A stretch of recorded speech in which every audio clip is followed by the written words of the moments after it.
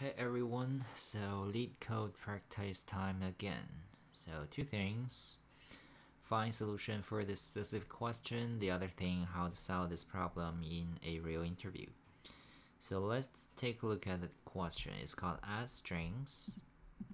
See, okay, so Facebook is a top company that uses this question in interview. So given two non-negative integers, num1 and 2, represented as string. Okay, represented as string. Return the sum of num1 and num2. Alrighty, so in the note it says both num1 and num2 contains digit from 0 to 9 and no leading 0 and uh, the lengths of num1 and num2 are both smaller than 5100 and uh, you must you mustn't use any built-in int library. Okay. I see what this problem asking about. So um, actually not too much to clarify because it's very clear. And Edge case I would say not either. Uh, because it says no leading zero. Um, but if there is I would say if number one it, what if one of the input string is empty. So if it is empty then I would say return if num1 is empty return num2 if num2 is empty return num1 so that that that's it. And for the solution part not much to to think about. It's if this question is asked it's more about testing your coding ability. Okay so let's directly jump into the coding part. So like we said, first of all, check the edge case. If num1 dot um,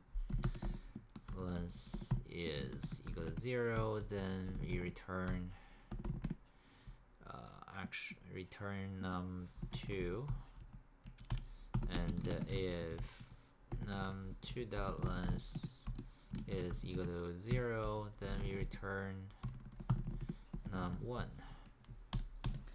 and we need to define uh, a carry bit which is zero. And initialize zero used in the in the next step.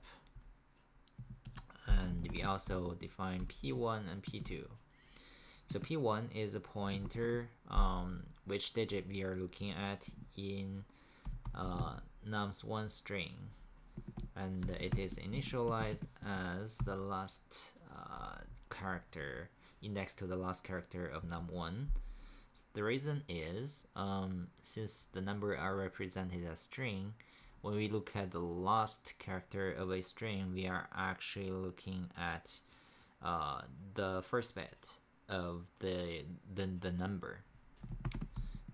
So that's essentially how we do the like add up when we learn in elementary school or kindergarten. So in this while loop, um, we are going to mimic how we do the add up in the kindergarten. So if P1, uh, so while P1 is larger or equal to 0 or P2 is larger or equal to 0 um, okay, so we actually need to define a string builder here to keep record of the temporary um, add up value. So let's say the re as new string builder.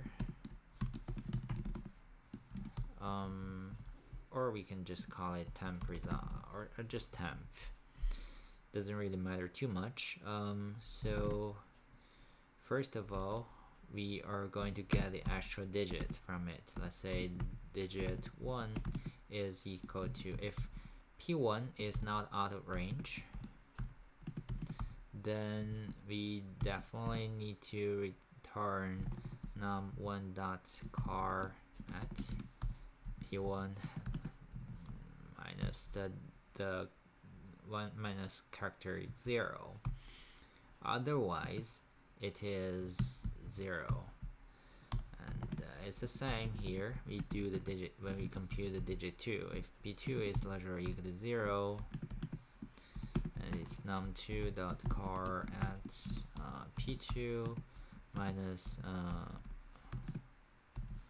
zero otherwise it we give it a zero.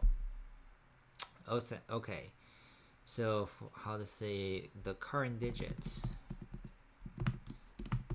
so the current digit we are going to compute is we need to add up carry digit 1 and the digit 2 together and uh, modular 10 and uh, to compute the carry bit uh, it is carry plus digit 1 plus digit 2 and divide by 10 okay and we are going to append the temporary current digit to temp let's say it's append uh, current digit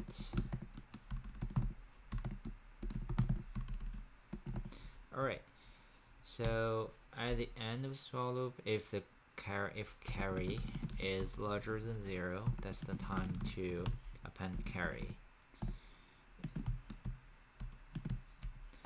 Dot append carry. And uh,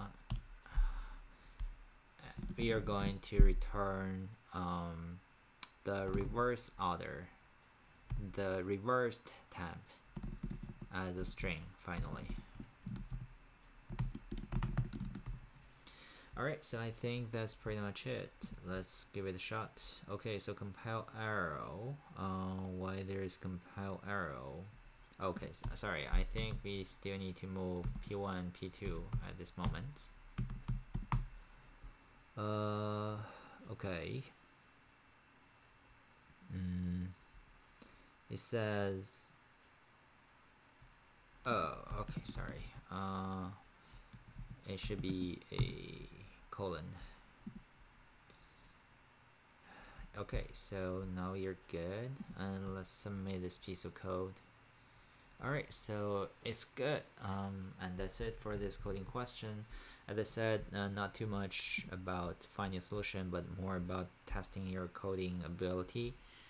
So for the testing part, uh, like I said, some test case, uh, Edge test case setup, and also some regular case setup uh, or maybe there is something more to consider maybe something like this two zeros to be added up together. Um, except that we should be good about the test coverage setup. Um, so that's it for this coding question. Um, please give me a some some up if you like this video and uh, I'll see you in the next moment. Thanks for watching